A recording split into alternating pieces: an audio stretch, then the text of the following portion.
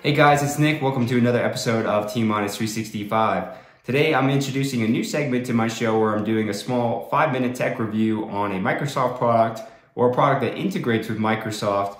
And specifically today, I'm going to be introducing the FIDO2 key from YubiKey, most specifically because last month Microsoft introduced support for both macOS and iOS browsers for that FIDO2 key, which is simply Safari.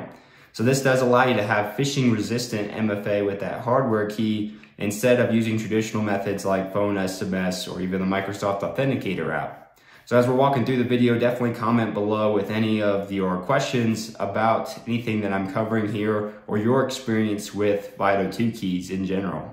You may also notice I have a new background here. I just am in the middle of a move, so bear with me as I build a whole new studio. There's got to be lots to come on that as well. Let's go ahead and dive in. Okay, so the YubiKey that I'm most specifically going to demo is the 5C NFC, but they do have different types here that you could choose from. So here I am on an iOS device signing in. I can choose to sign in with the security key option, and your iPhone will prompt you there to use the external security key. And when you touch the key to the back of the iPhone, you'll be prompted to put in your PIN, and then you'll authenticate and sign in. So it's passwordless, and you're able to get right into your account on a Safari browser. Now on the outside, just looking in from the YubiKey perspective, we're going through the same experience here, but this is what it looks like. You just have your key here, you're touching it to the upper back portion of your iOS device, you're adding your PIN here for security. I'll show you guys how to set that up here in a minute. And then you just keep it held on there. And this is the position that you need to have, which is in the upper portion of the iOS device. If this is how you're leveraging it with this specific key, there are other keys where you can just plug it into the iOS device as well. I think it's important to call out here, this is a better experience in my opinion than the Authenticator app, and we'll walk through that here. This is if I was canceling out that security pin and I'm choosing to use the Authenticator app on my phone.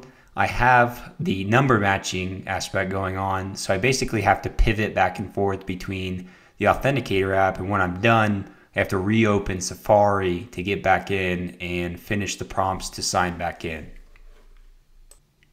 To get this configured correctly, you need to make sure that FIDO2 security keys are enabled for authentication methods within your Entra ID or Entra Admin Center. So you're in the authentication method section here, and under FIDO2 security key, you just need to make sure that this is enabled. You can scope this to certain users or groups if you wanted to, or you can make it accessible to all users in the organization. For a user, you can add a security key here by going under and clicking on View Account and then Security Info here as well.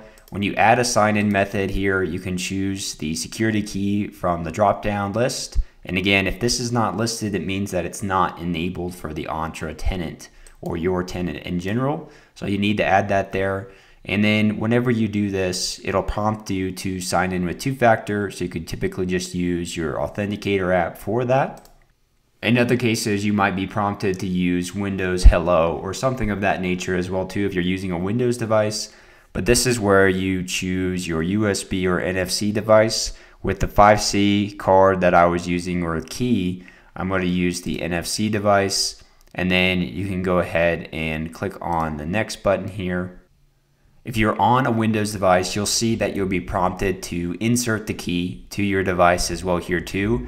If you're on your iOS device, you can use a similar method where you're just touching the NFC card or NFC key to the back of the iPhone. After you're done setting that up, it'll ask you to provide a friendly name for that as well too generally speaking, if you're an administrator, you want to make this something that's very commonplace in the organization, as in there's a specific naming convention that you have.